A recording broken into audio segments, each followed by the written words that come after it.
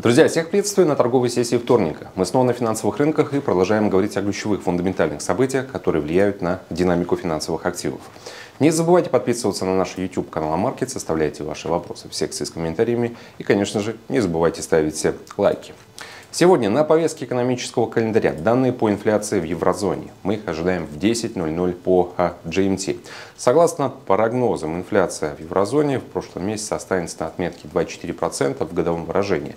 Базовый индекс потребительских цен, который не учитывает такие волатильные компоненты, как цены на энергоносители и продовольственные товары, будет держаться на отметке 3,6%. Если в целом характеризовать показатели инфляции, снижение э, темпов э, инфляционного давления по сути и не происходит в последнее время.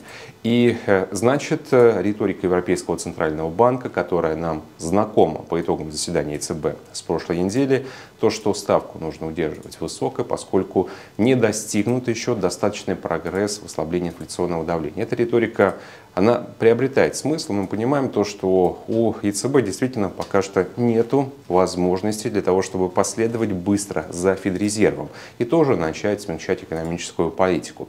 Я подвожу к тому, что в этих условиях, э, в такой ситуации у главного валютного риска вполне есть еще возможности выйти на новые локальные максимумы. Вчера, кстати, на вебинаре мы подробно обсуждали перспективы пары евро-доллара и пришли к выводу, что у этого инструмента есть потенциал роста вплоть до отметки 1.12. Это даже ожидание скажем, не долгосрочного характера, а очень даже среднесрочного, которые могут реализоваться раньше, чем позже. Также сегодня на повестке экономического календаря данные по рынку недвижимости в США в 13.30 по GMT.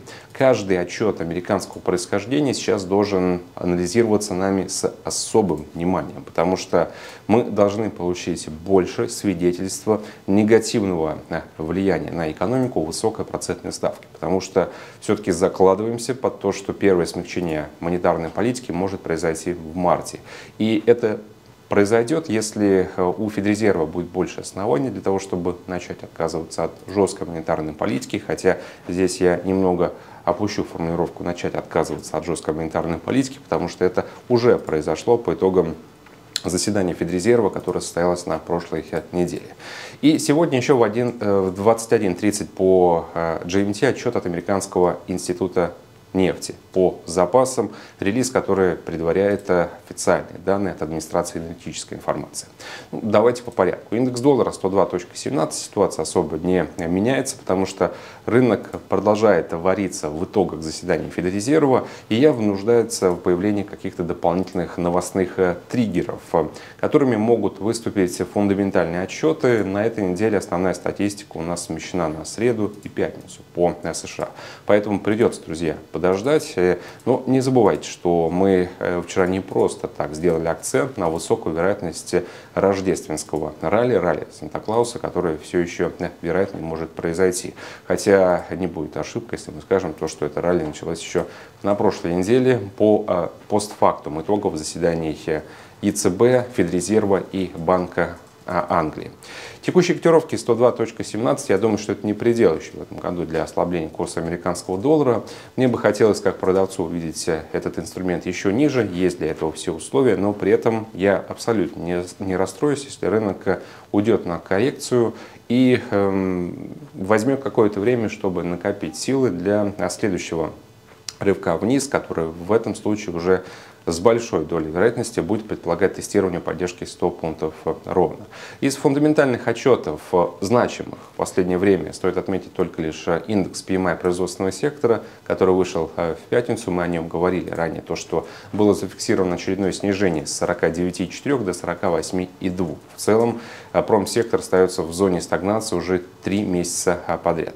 На комментарии чиновников Федрезерва я пока не советую вам распылять ваше внимание, потому что это лишь э, такие эм, околорыночные суждения э, представителей, которые особо и не ответственны за то решение, которое было принято. Голосующие члены еще не высказывались, хотя на заседании Федрезерва практически, точнее все проголосовали за то, что нет оснований для дальнейшего повышения ключевой процентной ставки.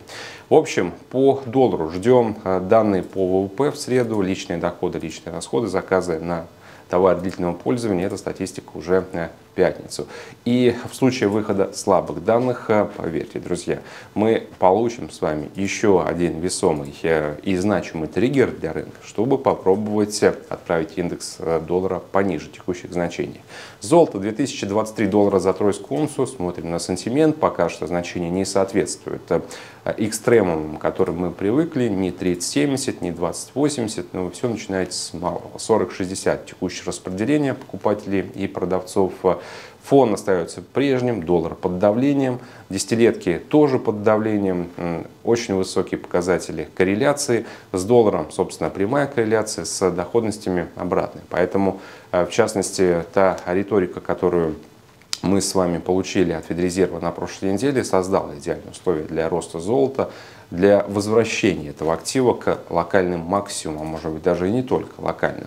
И я думаю, то, что нужно удерживать сейчас лонги с целями 2,50 и выше. Европейская валюта 1,0920 по последним опросам Reuters Европейский центральный банк вообще не будет обдумывать возможность корректировки ключевой процентной ставки до э, следующего полугодия, точнее до второго полугодия 2024 года.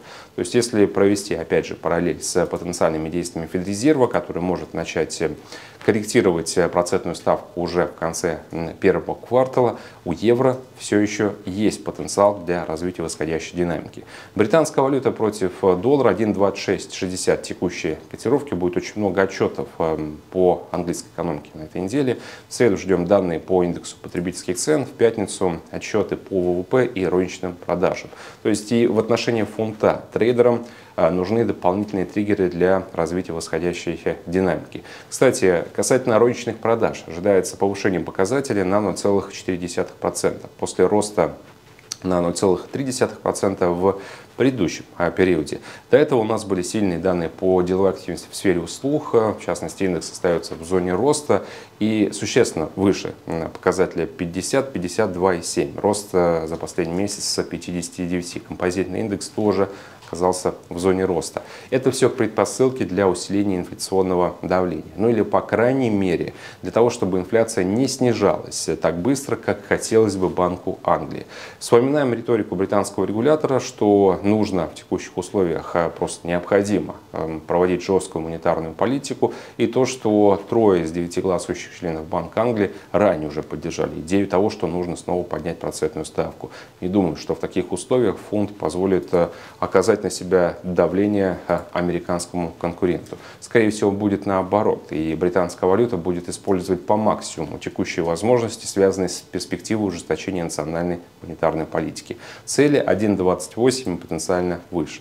Американский фондовый рынок почти каждый день это э, значение, которое соответствует историческим максимумам или около того. 4793 пункта по S&P, наша цель 4800 и э, выше. Австралиец против доллара 0,67 7.22 буквально Э, совсем недавно, несколько часов назад, вышли протоколы заседания Резервного банка Австралии, как и ожидалось.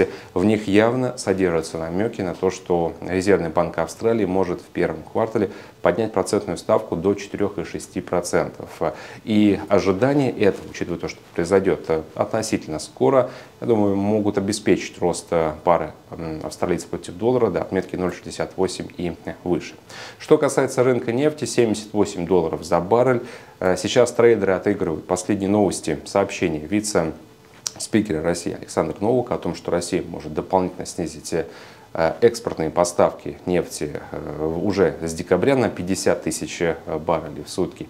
Ну и все следят, конечно же, за развитием событий на Ближнем Востоке, скажем так, из-за участившихся нападений на суда в Красном море, которые отказывают сейчас пересекать Суэцкий канал. Это создает риски перебоев поставок, ну и, конечно же, Э, влияет на цены на нефть. Но еще раз напомню, что я не могу позволить себе, учитывая какой большой акцент я делаю на рыночный сантимент, сейчас присоединиться к толпе и покупать нефть на этом фоне. Большинство трейдеров как раз сейчас находятся в длинных позициях, э, и до тех пор, пока позиционирование не изменится, все-таки шорт будет, на мой взгляд, в большем приоритете. На этом, собственно, все. Большое спасибо за внимание и хорошей торговой сессии. Всем пока!